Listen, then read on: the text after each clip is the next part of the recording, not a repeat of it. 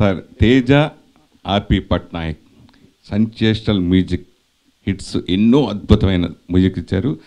మీ పాటలు కథ కంటే కథను నడిపించే సాంగ్స్ కథ నడిపించే మ్యూజిక్కే ఎక్కువ ఇంతవరకు మీ ఇద్దరు కాంబినేషన్. ఈ సినిమాకి ఆ కాంబినేషన్ ఏదో పేరు పెట్టుకున్నట్టు ఉందే తప్ప మీ సినిమా పాటలు అంతకుముందు అంతకుముందు సినిమా ప్రీవియస్ సినిమాలతో పోలిస్తే అంత సక్సెస్ అవు అవయ్యా అవుతాయి అనుకుంటున్నారా? రిలీజ్ అయిన తర్వాత అవుతాయి అనుకుంటున్నారా? బ్యాక్గ్రౌండ్ మ్యూజిక్ డెఫినెట్గా బాగానే బాగానే ఉంటుంది దాంట్లో డౌట్ లేదు. ఆర్పీ మీద ఆ నమ్మకం నాకు ఉంది బ్యాక్గ్రౌండ్ ఆయన చేశారు కాబట్టి పాటల పరంగా ఎందుకు మీరు అంత సక్సెస్ కాలేదని?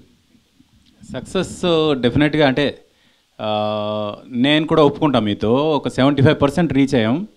ఇంకా హండ్రెడ్ పర్సెంట్ అంటే మా కాంబినేషన్లో వచ్చే ఆ హండ్రెడ్ పర్సెంట్ ఆ ట్వంటీ ఫైవ్ పర్సెంట్ తక్కువ అయితే ఉంది.